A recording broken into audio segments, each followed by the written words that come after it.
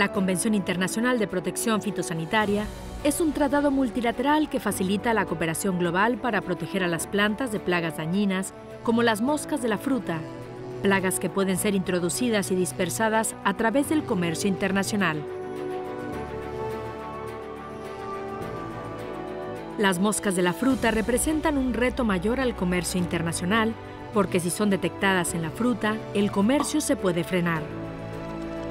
Esta es la razón por la que un conjunto de normas internacionales de medidas fitosanitarias en moscas de la fruta ha sido desarrollado y recientemente reorganizado. Cuando un país desea exportar fruta, este conjunto de normas puede facilitar el proceso.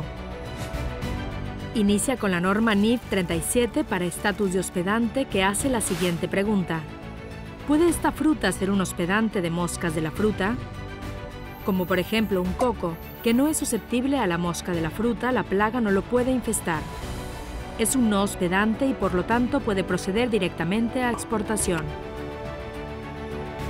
Pero en caso de que exista la posibilidad de que la plaga infeste la fruta, entonces la pregunta es, si la fruta se origina de un área que está libre de moscas de la fruta, si así es, entonces se puede exportar.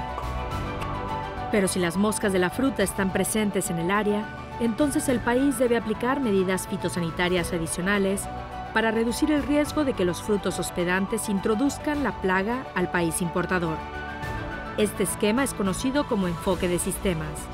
En un enfoque de sistemas, el país exportador aplica dos o más medidas fitosanitarias independientes. La integración de estas medidas reducirá el riesgo de plaga en el comercio de frutas a niveles aceptables para el país importador, mientras contribuye a asegurar una alta calidad de los frutos que van a ser exportados. El esquema fitosanitario bajo el cual puede ocurrir el comercio es definido y acordado por las partes interesadas, basado en las NIFs o en un esquema que esté técnicamente justificado. Esto se lleva a cabo bajo un acuerdo bilateral entre las organizaciones de protección vegetal de ambos países, el que exporta y el que importa.